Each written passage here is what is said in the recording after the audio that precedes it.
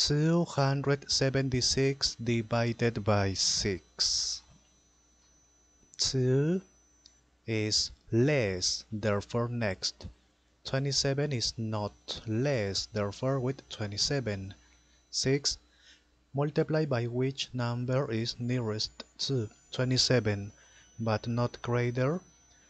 6 multiplied by 5 is greater. Multiply by 4, 24 is not greater. Okay. 27 minus 24, 3. Next. 36.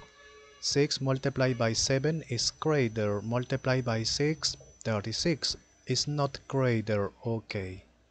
Subtract. Next. There is not number, therefore finish it.